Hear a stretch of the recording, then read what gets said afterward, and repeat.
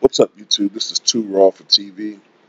All right, so I don't really talk about the NFL anymore because of you know the, the whole Colin Kaepernick situation with turning against the NFL uh, and, and subsequent incidents that have shown that has shown that the NFL is still has the same problems that a lot of these uh, organizations have, these sports uh, organizations have. But I do want to make a video talking about one thing. All right, um, I want to talk about the fucked up Hall of Fame uh, inconsistencies that you see with them. All right, like uh, I'm looking at the people who were inducted this year. Okay, and a lot of people got in this year, and this is why I kind of side with Deion Sanders. Deion Sanders is arguably arguably the best cornerback of all time.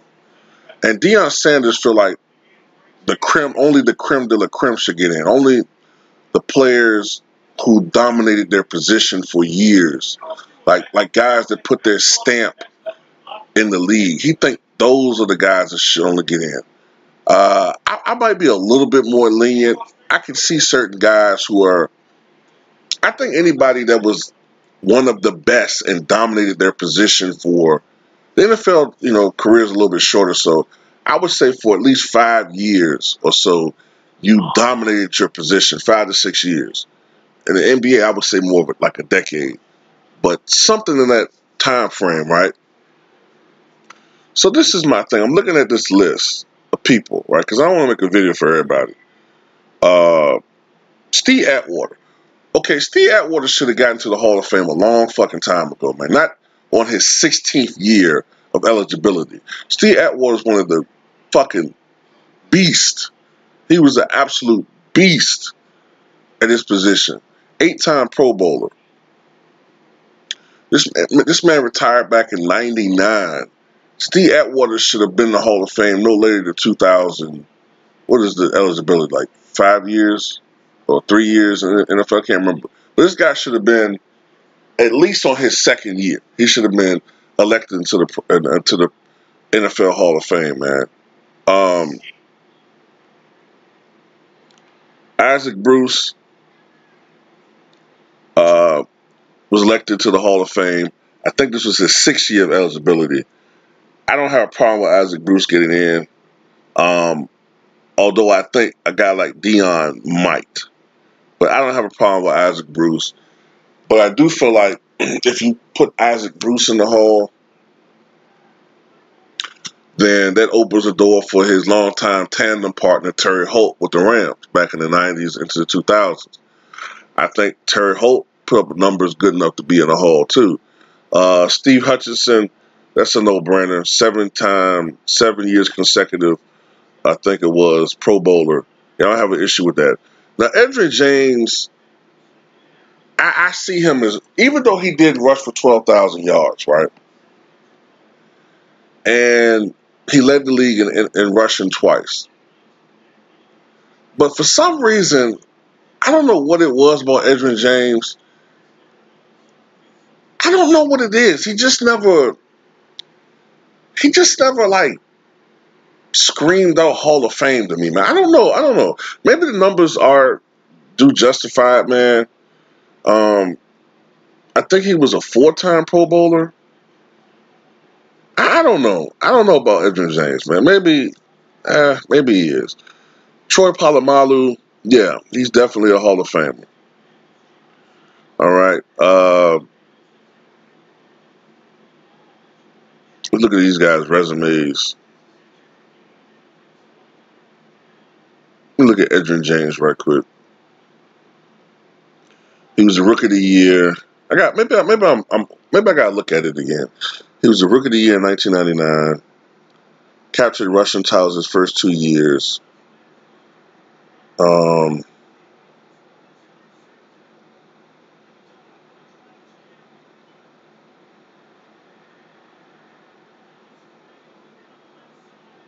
All Pro three times. All AFC four times, selected the NFL's All Decade Team in 2000. Voted to four Pro Bowls. It was four, okay, so. Yeah, I mean, I, I guess so. I guess so. it's kind of borderline to me, man. Um, this is my thing, okay, with the coaches. Bill Cowher. Now, Bill Cowher went to two Super Bowls, winning one. He had a 62% career winning percentage, I believe it was. Uh, 149 victories, uh, 90 against 90 losses. He succeeded the legendary Chuck Noll back in 1991. And um, I guess he's a Hall of Fame coach, but he's not one of the top names that pop in my head when it comes to Hall of Fame coaches. If anything, I think that his successor, Mike Tomlin, has been even more successful. Mike Tomlin, until recently, really didn't have a losing record or a failing record. And I think what Mike Tomlin was able to do this past year, despite having one of the worst rosters in Pittsburgh Steelers history, is remarkable. He has a higher career win percentage, and he's already uh, matched Bill Cowher with Super Bowl appearances and wins. All right, so I think if people can refer to Bill Cowher as a Hall of Famer, then goddamn it, Mike Tomlin will be a Hall of Famer as well. All right, um, I think Bill Cowher has 149 wins. Uh, excuse me, Bill Cowher has 149 wins. Mike Tomlin has 133 wins. Um, so within the next two seasons, Mike Tomlin should surpass Bill Cowher in wins while still having fewer losses. Um, Jimmy Johnson, the coach, yeah, I see him as a Hall of Famer. All right. Steve Sabol, uh, president of NFL Films, yeah, died tragically several years ago. Um, yeah, he should be in the Hall of Fame. Paul Tagliabue blew uh, prior to the current commissioner was the commissioner of the NFL for a long period of time. Um, yeah, I, I, see that. And some of these other guys, I don't know who the hell they are. All right, but at the end of the day, man, I just think that when it when it comes to all of these leagues, the NFL, Major League Baseball, the NBA, the Hall of Fame has become very watered down. It's become very watered down. You know, like I understand the steroid issue. I get it. I understand it. But it's hard for me to take Major League Baseball's Hall of Fame seriously. It's hard for me to take Major League Baseball Hall of Fame seriously when you let in a guy like Larry Walker, who primarily is in the Hall because he was able and lucky to play in Coors Field, where outside of Coors Field, Coors Field, he hit like 280 for his career, but in Coors Field he hit 380 and hit most of his home runs. Um, it's just hard for me to, to see a league that has let Larry Walker in the Hall of Fame, but meanwhile, Roger Clemens and Barry Bonds most likely will never be elected into the Hall. Now, fortunately, both of them are in the upper 60 percentile when they're doing these votes. But at it's not really soaring. It's not like they're at 70%.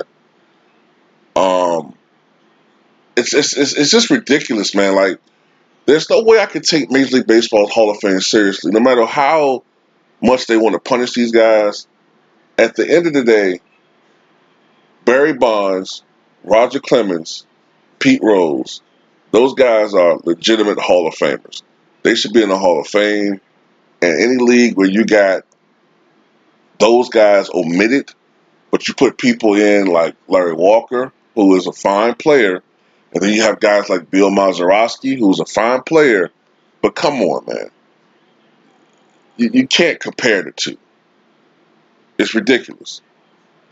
Um, and then like, you know, the NBA, which is more my speed, I don't understand how you could have Tracy McGrady. Look, if you got Tracy McGrady in the Hall of Fame, that's fine. Okay? Tracy McGrady for a while was one of the best scorers, if not the best scorer in the league for a span of like maybe two years when he led the league in scoring. But if you're going to put Tracy McGrady in the Hall of Fame, I implore the NBA to put in Tom Chambers. Okay? Uh, I implore the NBA to let in Walter Davis. These are some guys who aren't in the Hall of Fame that if you're going to put Trace McGrady and some of these other guys in, then you got to put those guys in. I think Walter Davis should be in the Hall of Fame. If you're going to lower the bar that much because you want to fill a quota, you know, that that's just doesn't make any sense to me, man. But um, tell me what you guys think, man.